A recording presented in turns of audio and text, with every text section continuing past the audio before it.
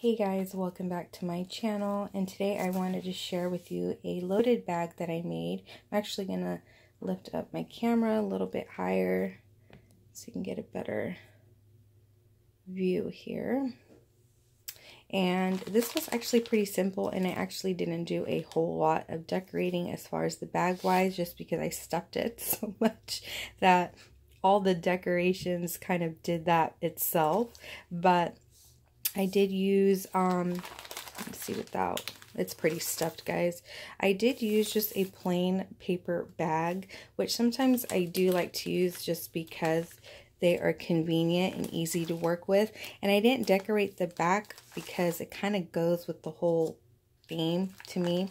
So this was, um, so of course I folded the paper bag up, glued the sides and the bottom to make a pocket here in the front, which is this one here. And I decorated that with a pineapple um, scrapbook paper. And then I had gotten this. This is actually a coaster that I picked up from Dollar General. I think it was like four to a pack for a buck.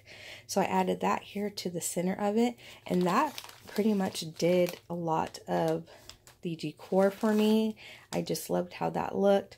And then I added this rosette that I made here. This is actually a Dollar Tree magnet and I just glued it with the little um, flag here that says beach.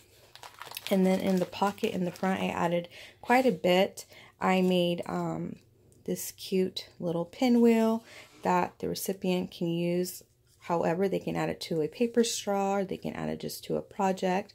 I also picked up some coasters from the Dollar Tree and I added this bling just to go along with the color scheme. And these are really cute, guys. I don't know if you've bought them or seen them. They're not too big, so they would be really cute to add to projects.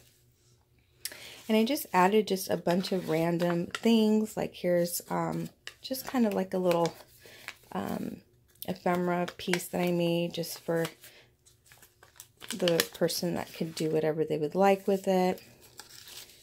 And here's another little piece that I made here. I had a lot of fun making these little pinwheels.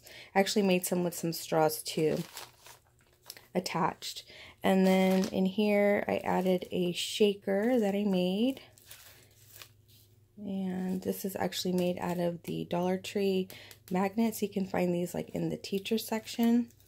A lot of the stuff that I do make, I, sh I show on Instagram. So if you guys aren't following me there, then um, I'll just leave that out. You can check me out there. And then I added these cute little palm tree stir sticks along with these here that are more plain that you can use for whatever.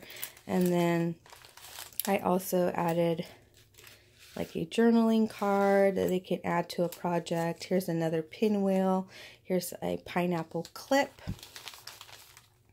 Then I also added some, this is the background of the bag that has like the palm tree um, design, which looks really cute.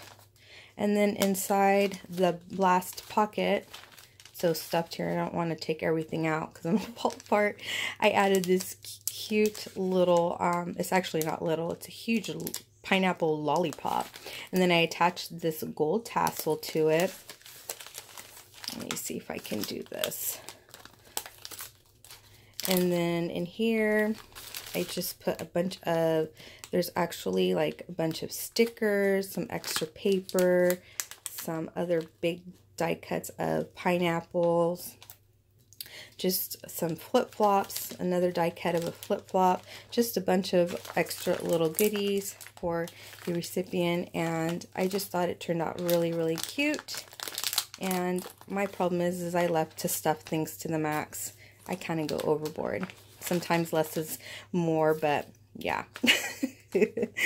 um, but yeah, this is how a My Loaded Bag turned out. Um, if you guys haven't seen my last video, I did uh, another project share showing um, how I made my first embellishment box.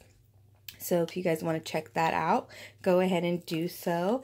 And I hope you liked this video and please don't forget to like, comment, and if you're new here, subscribe, hit that button. I would love to have you. And I hope you guys enjoyed. All right, I'll see you guys next time. Bye, guys.